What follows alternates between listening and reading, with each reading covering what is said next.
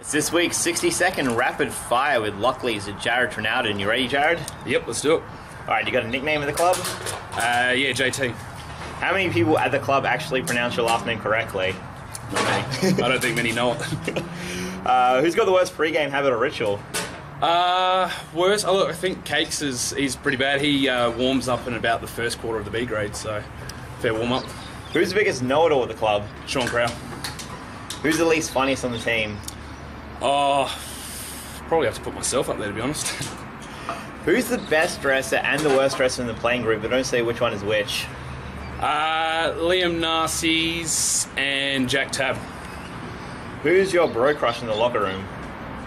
Oh, uh, probably uh, Jimmy Buckets.